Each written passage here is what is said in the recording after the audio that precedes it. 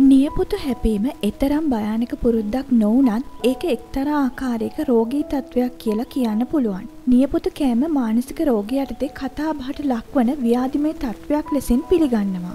නමුත් මේ නිසා කායික වශයෙන් ඇතිවන ගැටලුකාරී අවස්ථා පිළිබඳව සුලබෝ කතාබහට ලක්වෙනවා. ඒ අනුව නිය සැපීමේදී ඒ ආශ්‍රිතව තිබෙන ප්‍රධාන ගැටලුවක් විදිහට හඳුන්වන්න පුළුවන් සම කැඩියාම. ඊට අමතරව ඒ ආශ්‍රිත බැක්ටීරයා දිලීර ආසාධන තත්ත්වයන් ඇතිවීමද රෝගී තත්ත්වයක් විදිහට හඳුන්වන්න පුළුවන්. ඒ වගේම අත් නිතරම පිරිසිදු තත්ත්වයේ තිබෙන්නට ඕන නිසා අපිරිසිදු වීම තුළින් පණු බිත්තර නිය අතර රැඳීමෙන් නිය සැපීමේදී ඒවා ශරීරගත වී පණු රෝග පවා හැදෙන්නට පුළුවන්. ඒ වගේම ඇපෙන්ඩිසයිටිස් වැනි දරුණු මට්ටමේ තත්ත්වයන්ද මේ මේ හේතුව නිසා ඇතිවෙන්න පුළුවන්. මනෝවෛද්‍ය විද්‍යාව තුළ යම් කෙනෙක් කාන්සාව වැනි මානසික තත්ත්වවලින් පෙළෙන විට ඒ මුදාහැරීමේ එක් ක්‍රමවේදයක් විදිහට නියපොතු සැපීම සිදු කරනවා. ඉතා කුඩා කාලයේදීම හඳුනාගතහොත් ඉන් මඟහරවා ගැනීම ඉතාමත් පහසු වෙනවා. ඒ අනුව අදාළ රෝගියා දරුවෙක් නම් තරවටු කිරීමෙන් තොරව යම්කිසි වෙනත් හැසිරීම් රටාවක් ඇතිකරවීමට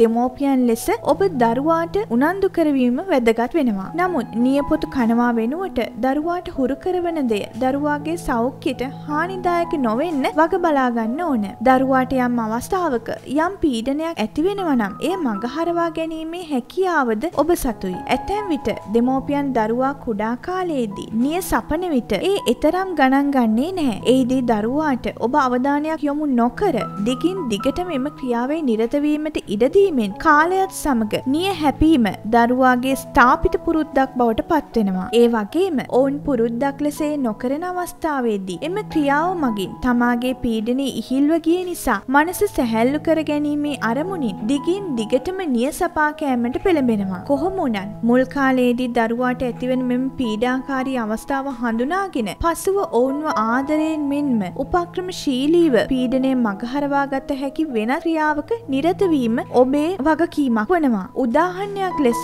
හුස්ම ගැනීමේ ව්‍යායාමයේ එකේ සිට දහයට ගණන් කිරීම වැනි සාමාන්‍යයෙන් අවුරුදු හත සහ දහය අතර දරුවන් අතර මෙම හැසිරීම සුළභව දක්නට හැකිවීමද ඉතාමත් විශේෂයි. ඇතෙන්ම මේ තමාගේ පුරුද්දක් බවට පත් වූ පසුව ඔවුන් වැඩිහිටියන් වූ පසුවත් දිගින් දිගටම නිය සපා කන්නට පුරුදු වනවා. මේ තුලින් පෙර පැහැදිලි කළ කායික රෝග අවස්ථාවන්ට අමතරව සමාජීය ලෙසද ගැටලුවලට මුහුණ දීමට ඔවුන්ට සිදු වෙනවා. ඇතැම් දෙනා මේ ඊතා අශෝභන ක්‍රියාවක් ලෙස දකින්නට අවතක්සේරුවට ලක් කරන්නට ඇතැන් දෙනා පිළිකුල් ලෙස දැකීමට පුරුදු වනවා. අවම වශයෙන් වෛද්‍ය වෘත්තිකයින් පවා මෙවැනි පුරුදුකම් වලට ඇබ්බැහිවීමෙන් හැඟී යන්නේ පුද්ගලයාගේ බුද්ධිමත් බව අධ්‍යාපන මට්ටම පවා අභිබවමින් මෙවැනි හුරු පුරුදුකම් නැගී සිටින බවයි. ඒ වගේම මේ තමාගේ ආත්ම අභිමානයට විශාල පහරක් ලෙසින්ද සැලකිය හැකි. දෙමෝපියන් ලෙස කුඩා කාලයේදීම මේ හඳුනාගත් පසුව එය මගහැරවීමට කටයුතු කළ හැකි අතර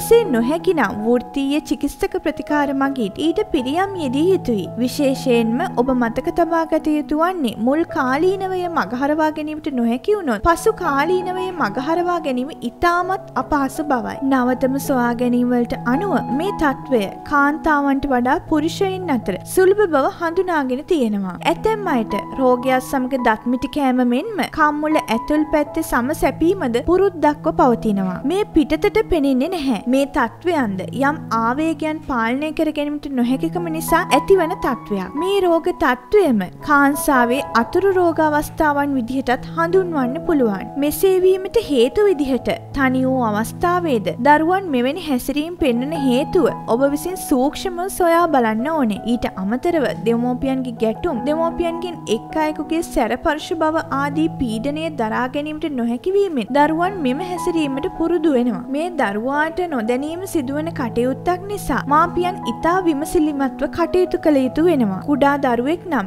ඒ අවස්ථාව මගහැරවීමට ක්ලේ කුලියක් අතට දීම, චිත්‍ර ඇඳීමට දීමාදිය කළ හැකි අතර වැඩිහිටි අයෙක් නම් කෘතිම නියපොතු පැළඳීම කළ හැකි. එමගින් නියපොතු සපා කරන ආකාරයට කෘතිම නිය සැපීමට නොහැකි වෙයි. ඒ වගේම ගැහැණු ළමයෙක් නම් නිය ආලේපන ගැල්ලීම වැනි උපක්‍රමද తాවකාලිකව හෝ භාවිතා කළ හැකි අතර ඔවුන් එම පුරුද්ද මගහරවා ගන්නේ තමන්ට ආවේනික වූ ක්‍රමවේදයකට වීම තවත් විශේෂත්වයක්. කොහොම වුණත් දෙමෝපියන් විදිහට නැවතත් ඔබ හොඳින් මතක තබා ගන්න ඕනේ. දරුවෙක්ට නම් තරවටු කිරීම මගින් මේ ගැටලුව මගහරවා ගත නොහැකි බවයි. එහෙයින් ඔවුන්ට ආදරයෙන් සෙනෙහසින් අවධානය වෙනත් අතක යොමු කිරීම මගින් මේ පුරුද්දෙන් ගැලවෙන්න පුළුවන්.